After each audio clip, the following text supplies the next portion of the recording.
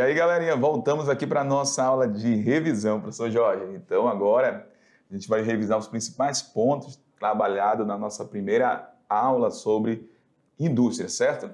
Certo, e não tem como falar de indústria e não ter que falar sobre as revoluções industriais também que foi abordado. Com certeza. Inclusive, falamos desse avanço tecnológico que houve ao longo do tempo, não só na questão de equipamentos, mas também na questão do espaço geográfico, Muito ao bem. ponto de você, inclusive, falar sobre os tecnopolos. Justamente. Não é isso? Então, o espaço ele é construído a cada momento da história, né? Isso. E quando a gente fala de terceira revolução industrial, que foi a temática que a gente mais enfatizou nessa aula, é, as transformações aconteceram de uma forma ainda mais veloz, certo? Exatamente. Porque agora a gente tem tecnologias avançadas nessa modificação, nessa estruturação do espaço geográfico.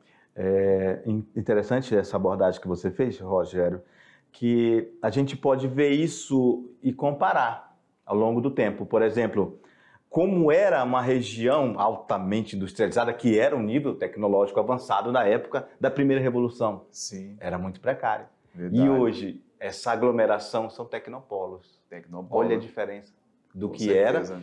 Uma- agora podemos até, inclusive, fazer aquela abordagem sociológica. Naquele primeiro momento, não se falava em sindicato. As pessoas trabalhavam mais de 12 horas por dia. Não tinha idade, era criança, jovem, adultos e idosos. Não existia carteira assinada. Não existia ninguém que defendia o trabalhador como se tem hoje. Muito Não bem. é isso? Muito bem, e também a gente verifica essa questão na mudança da, da própria qualificação. A qualificação hoje não tem jeito. Um nível, o nível tecnológico que a gente está não tem, gente, não tem como. Tem que estar altamente qualificado, Verdade. altamente qualificado na área que for, que você um dia escolher esse mundo tecnológico dessa terceira revolução indo já para a quarta, quiçá já estamos na quarta revolução industrial, ele requer esse profissional altamente qualificado. Isso mesmo. Então, galera, vamos revisar ali mais outras informações que a gente trabalhou durante essa aula. Então, de olho na tela aí, vamos lá? Trabalhamos na aula 31.1, falamos sobre a indústria no mundo. É a nossa primeira aula sobre indústria, como eu falei há pouco. Então, trabalhamos aí a primeira parte da aula com o conceito de indústria. Então, toda atividade, professor Jorge, que Pode tem falar, Rogério. que tem por objetivo a manipulação, transformação da matéria-prima, da fonte energética, e a partir dessa matéria-prima, fonte energética, é transformada em produtos, a gente sabe aí que a gente tem aí o conceito de indústria, está acontecendo atividade industrial. É, e só relembrando também para os nossos queridos alunos que esta indústria é o segundo setor né, da economia. Muito bem. Setor secundário Setor secundário. da economia. Beleza. E aí falamos também sobre a terceira revolução industrial. Então, galera, a gente teve o avanço das telecomunicações e dos transportes. Vale salientar que quando a gente fala em telecomunicação, atualmente é quase que indissolúvel da informática. Porque quando você tem um celular na mão, Sim. você está ah, conectado à informática e às telecomunicações através de operadoras de telemóvel, ok? E quando a gente fala também de telecomunicação e informática, Rogério, vamos chegar aqui e falar um pouco com o nosso aluno, que é o seguinte: as telecomunicações e a informática, elas foram muito importantes para esse fluxo Sim. de capitais ser Muito bem. altamente expandido e ser altamente intensificado a partir da, da terceira revolução industrial. Hoje é tudo simultâneo, Rogério. Muito bem. Então, os nossos queridos alunos que estão em qualquer lugar de Rondônia, eles sabem disso, porque muitos lugares desses, a maioria, tem, às vezes, sinal de telemóvel. Então, ele tem a- é, acesso a dados móveis que dá acesso simultâneo a muitas informações no Brasil e no mundo. E ainda tem aqueles que, por exemplo, os professores, os pais dos nossos queridos alunos, ainda tem, por exemplo, aplicativo de banco, que faz esse fluxo, essas transações financeiras pelo smartphone. Muito bem. Não é isso? Isso mesmo. Por isso que Milton Santos, ele fala sobre a terceira fase da Revolução Industrial e ele chama esse meio, né, do que a gente está vivendo, do meio técnico científico informacional. informacional. Então, Perfeito. caracteriza muito bem o que a gente chama aí do processo da terceira revolução industrial. Ótimo. Né? Tecnologia informática estão totalmente ligados aí. Milton Santos é o cara. É o cara. Beleza? Vamos lá, galera. Vamos lá. Então aí a gente falou também do desenvolvimento da microeletrônica e nós já sabemos que nós estamos na nanoeletrônica, não é isso? Equipamentos menores ainda. Com certeza.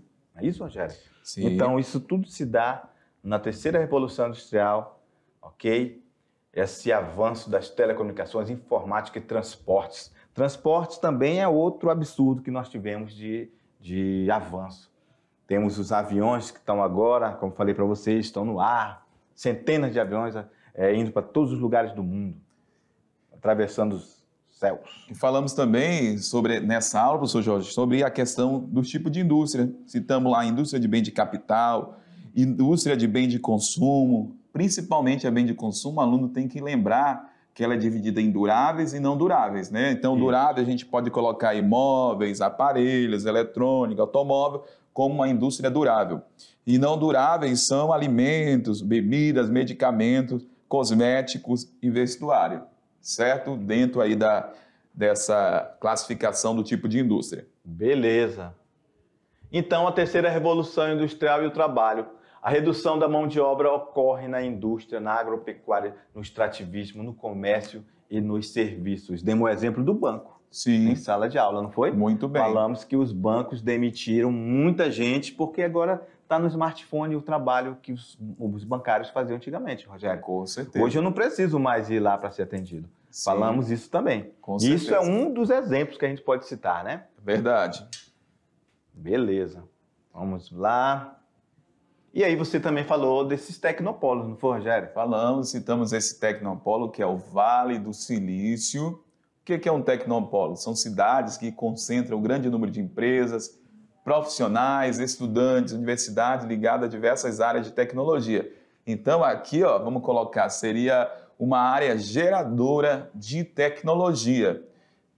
Nós estamos vendo aqui o Tecnopolo lá dos Estados Unidos, estado da Califórnia, Vale do Silício, bastante conhecido, onde concentra várias marcas de empresas multinacionais, HP, Facebook, YouTube, é, Twitter. Twitter, várias outras empresas e várias outras áreas de tecnologia também a gente consegue observar dentro do Vale do Silício. Então, marca muito bem o que a gente conhece aí por terceira revolução industrial. Muito bem, a Oracle também, que é na área de, de informática. Muito bem, ó, Google.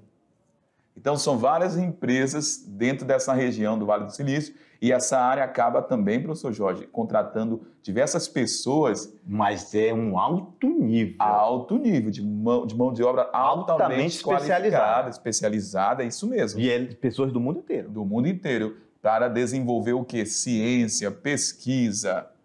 Vamos lá? E falamos também que dentro da terceira revolução industrial, a gente vai, querendo ou não, se deparar diante de um desemprego que já aconteceu também lá na primeira revolução industrial, principalmente quando a máquina chegou no campo e substituiu a mão de obra do homem por máquinas. Mas aqui no, no Brasil, quando a gente fala de Brasil, essa transformação começou também no campo a partir da metade do século XX. Exatamente. Isso é metade do século XX, a gente está falando de terceira revolução industrial. Exatamente. Então, dentro da terceira revolução, a gente tem um desemprego chamado estrutural, que é o desemprego que acontece toda vez que há substituição da mão de obra do homem por máquinas. Um exemplo que a gente pode dar são os nossos alunos, que eles veem isso lá no campo, um trator fazendo trabalho de centenas de pessoas. Muito bem. E outro exemplo, vamos colocar na, na indústria, né, a robotização, a robótica, a né? robótica. né? É, as máquinas trabalhando, substituindo o trabalho humano. Certo, professor? Beleza. Vamos Fechou. agora deixar eles fazer a atividade, que daqui Bora, a pouco a gente volta aí para ver se acertaram tudo. Muito bem, galera. Boa Até mais. atividade. Valeu.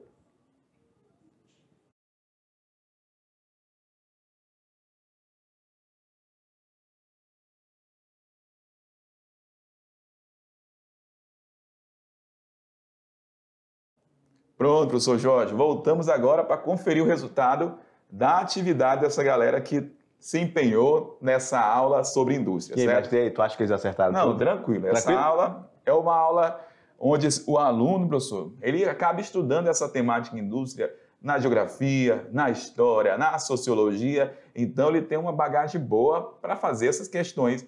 E essa galerinha ficou ligada durante a aula, então tá com a faca e o queijo na mão para ter gabaritado essas questões. Vamos junto, vamos lá ver. Vamos, agora. bora, agora. Atividade de sala, tirando as dúvidas. Primeira questão. Questão 1.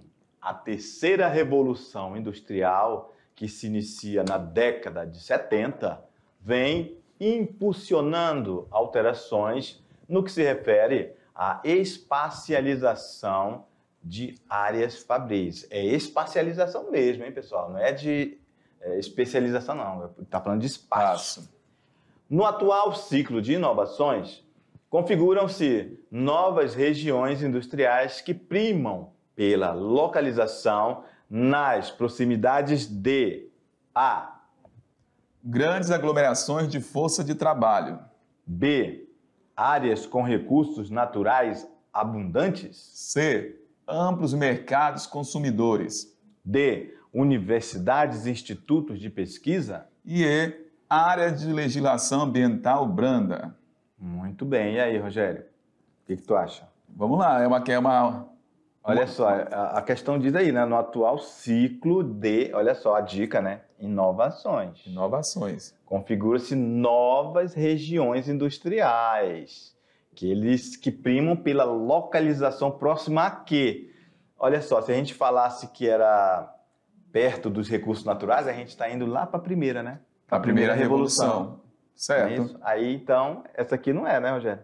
Muito bem. próxima aos recursos naturais. Então, a B, nossos queridos alunos lembram da primeira revolução que a gente falou, lá na Inglaterra, eles ficaram próximo das minas de carvão, né, etc. Muito Beleza. bem. Glan- grande, ah, grande aglomerações de força de trabalho.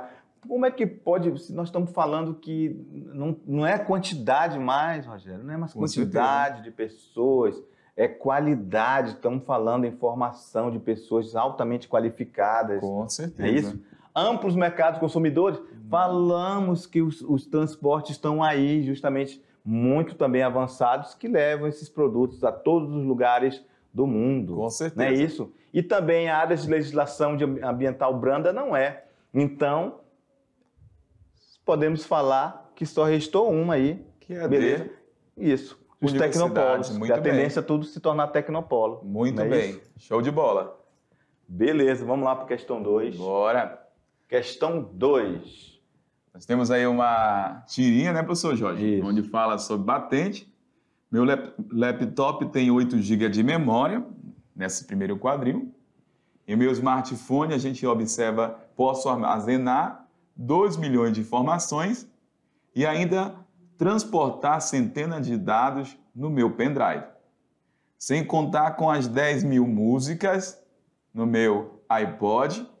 E aqui, quanto cabe? Ele está falando aqui, né? é, e aqui, quanto A cabe? moça está falando, e aqui, quanto cabe?